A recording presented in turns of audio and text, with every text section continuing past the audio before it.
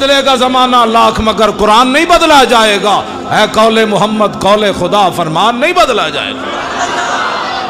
डरो खुदा से, होश करो, कुछ मकरो रिया से काम न लो। या इस्लाम पे चलना सीखो, या इस्लाम का नाम न लो।